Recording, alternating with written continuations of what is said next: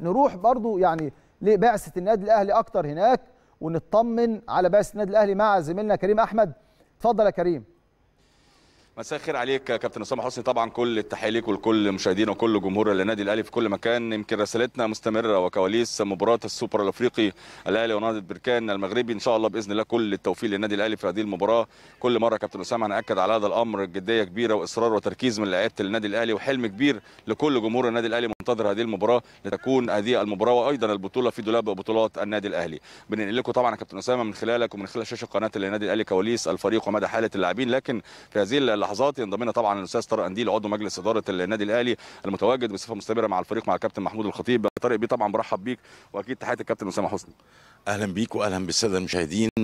كابتن أسامة إزيك؟ منور القناة. آه وتواجدكم هنا قناة أهلي ما شاء الله يعني الطقم بتاعك كله موجود هنا يعني. آه طبعا حاجة الحمد لله يعني بنشرف بالتواجد مع الفريق ومع البعثه آه الحمد لله يعني ما اكرر لعيبة أبطال في ظل إن الأول لعبت آه دور الثمانيه مع سان داونز في جنوب أفريقيا وبعدين اتحركنا على هنا كان سفرية طويلة قوي لقطر. وفي نفس الوقت اختلاف الجو نفسه الجو في جنوب أفريقيا كان الجو أشبه بالشتاء يعني آه وهنا الجو طبعا حر جدا. فالحمد لله ان تواجدنا برضو في الفترة دي بتفرق قبل الماتش بحيث برضو النقلة بين الجو هناك وكل الأحوال والظروف نفسها عبال ما اللعيبة تتعود برضو عشان إن شاء الله ربنا يوفقنا في ماتش السوبر. أنا عايز أبدأ معاك يا طارق طبعا بمدى صدى التأهل مع لعيبة النادي الأهلي إحنا يمكن تلاحم مباريات وتلاحم بطولات في نفس الوقت يمكن مباراة البطولة الأفريقية ثم السوبر الأفريقي. لكن مدى صدى التأهل شايفه إزاي في وجوه اللعيبة وتركيزهم إزاي في الملعب شايفه طارق هو اولا بالنسبة للتلاحم إحنا جايين من دوري عمرنا ما شفنا زيه يعني يعني ماتشات بتتلعب على طول باستمرار ما فيش فترة راحة يمكن كل 48 ساعة ماتش النادي بيلعبه ومع ذلك اللعيبة أبطال ما شاء الله عليهم. في نفس الوقت ان يبدأ يجي هنا في بدري شوية في في قطر دي كان ليها ضرورة جامد جدا. اولا آه بعد التأهل الحمد لله للدور الأربعة في بطولة أفريقيا. آه طبعا دي كانت بلا جدال رفعت معنويات اللعيبة وأثرت في في الفريق.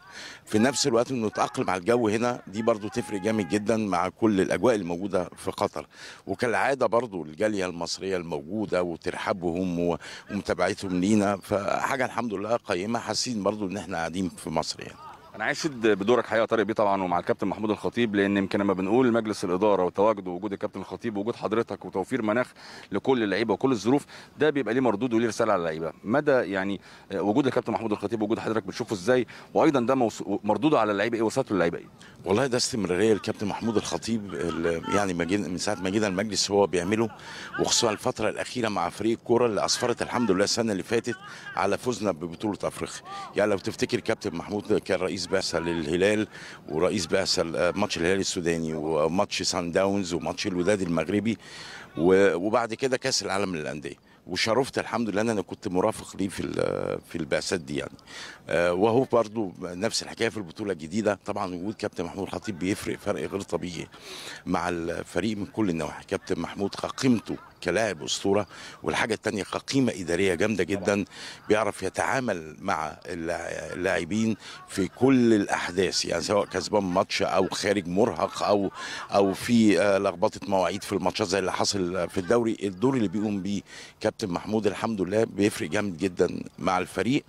واولا وأخيرا توفيق ربنا سبحانه وتعالى اللي نرجوه آه إنه يلازمنا إن شاء الله ونعرف إن شاء الله نحقق بطولة السوبر اللي غايبة عننا بقى لها فترة كبيرة. كان أنت أشرت لنقطة مهمة جدا طارق بيه وهو وصول المبكر وتأقلم على الجو، إحنا فعلا كنا جايين من درجة حرارة بتصل سبعة أو ثمانيه لكن درجات الحرارة هنا مرتفعة جدا وحدة الشمس كمان قوية جدا، إحنا خارج الملعب ويمكن بنعاني شوية يعني بنقول ربنا يكون في عون لعيبة النادي الأهلي لكن الوصول المبكر ده ده مرحلة وفترة لتأقلم اللاعبين، كيف ترى هذا الأمر؟ طارق بيه؟ طبعا يعني زي ما بقول لحضرتك الوصول المبكر فرق جدا في حاجات أكتر من حاجة اللي هي النقلة برضو أنت كنت بتلعب في بطولة أفريقيا وجاي تلعب هنا ماتش السوبر فالنقلة في التحضير نفسها.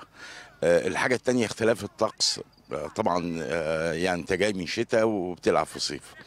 عايز أقول برضو لعيبة بسم الله ما شاء الله عليهم رجالة. يعني كم الانضباط اللي الواحد شايفه ورجولة في تعاملهم مع المواقف من ساعة ما جينا وصلنا جنوب أفريقيا لغاية هنا آه، حاجة تفرح آه، على فكرة يعني في جنوب أفريقيا إحنا ما كناش في فقاعه إحنا هنا في فقاعه انت تحس في جنوب أفريقيا وانت موجود هناك كأنك في فقاعه برضه يعني هو الحمد لله في- آه، في جانب كبير جدا ملموس من التزام اللعيبة. آه، وغيرتهم وإحساسهم إن هم عايزين يعملوا حاجة للنادي الأهلي ولنفسهم أنا طبعا مش هكلمك على المعنويات على قد ما هكلمك يا طارق بيه على آه، يعني مش هكلمك قصدي على الفنيات هكلمك على المعنويات. يمكن الفنيات أكيد متروكة لبيتسو موسيماني والجهاز الفني لكن معنويات اللعيبة مرتفعة. شايف وجوههم وشايف الإصرار إزاي وشايف تركيز لعيبة النادي الأهلي إزاي؟ لأن هي مباراة وحيدة يا طارق بيه. البطولة الأفريقية نقدر نعوض 90 دقيقة في 90 دقيقة لكن دي مباراة وحيدة. كيف ترى هذا الأمر أيضا؟ آه الحمد لله المعنويات مرتفعة وكل حاجة وبيتبقى وهو الأهم توفيق ربنا في الماتش. دي اللي إحنا ما بنقدرش نتكلم فيها. اللي هو هو تس... مباراة 90 دقيقة. نرجو إن شاء الله وندعو ربنا إن إحنا ربنا يوفقنا في الماتش ده. إنما من ناحية المعنويات الحمد لله عندهم كم كبير جدا من التوازن النفسي. آه عارفين هم جايين إيه الهدف اللي عندهم. آه ال- ال team كله على بعض. الحمد لله روح الفريق وال teamwork اللي ما بينهم هم والجهاز وكل أفراد البعثة على أحلى ما يكون. وزي ما بقول لحضرتك الأهم بيتبقى هو توفيق ربنا سبحانه وتعالى في الماتش. عارف إن جمهور النادي الأهلي بسند ودعم حقيقي ويمكن رسالته بتوصل للعيبة بشكل كبير جدا يا طارق بيه وده أمر مهم جدا لأن اللعيبة عارفه وعارفة قيمة المباراة وعارفة قيمة البطولة. بتشوف الأمر ده إزاي وبتشوف مساندة جمهور النادي الأهلي إزاي المعتادة. ده مش أمر غريب على جمهور النادي الأهلي. بص حضرتك يعني إحنا بنلعب بقالنا فترة كبيرة من غير جمهور. النادي الأهلي آه طبعا بينقصنا بطريقة غير طبيعية آه مساند جمهور النادي الأهلي في الملعب لكن ال ال آه جمهور النادي الأهلي بقى سواء هو موجود في الملعب أو مش موجود إحساسه وتواجده اعلاميا وفي الشارع وي وي ليس له حل. آه جمهور النادي الأهلي جمهور عظيم الحمد لله ويستحق بطولات كتيرة قوي يستحق دايما إن هو ترسم على شفاه الابتسامة والسعادة بفريقه بالنادي الأهلي. فده حاجة يعني هنتكلم عليه دايما هو حاجة outstanding حاجة خارج المقارنة جمهور الأهلي. أنا عارف ان اللعيبه مش محتاجه رساله ومش محتاجه رساله تحفيز لكن لازم اسمع من طارق بيه رساله مطلوب إيه من اللعيبة؟ مطلوب إيه من لعيبة النادي الأهلي في مباراة نادي البركان يوم الجمعة إن شاء الله؟ آه، يعني مش هقول أكتر من اللي دايما كابتن خطيب بيقوله لهم يعني إحنا أول ما خلصنا الماتش اللي فات آه، من ليلتها على طول كانت رسالة كابتن خطيب إن خلاص انتهينا من آه، تأهل داخلين على بطولة على طول إنها كانت غايبة عننا بقى لها فترة. فبالتالي ده هو ده قدر النادي الأهلي إن طموحات لا تختفي طموحات بتتجدد باستمرار. انت خارج من مباراة لبطولة تانية لأن هو ده قدرك دايما. إن شاء الله وربنا يديمها نعمة انك إنك تبقى الأول. فاللعيبه مدركة الحمد لله الكلام ده كويس قوي. وحاسة بيه إن هو وفي نفس الوقت بتعمل تاريخ لنفسها. آه، ربنا يوفقهم في كده تاريخهم لنفسهم وللنادي الأهلي.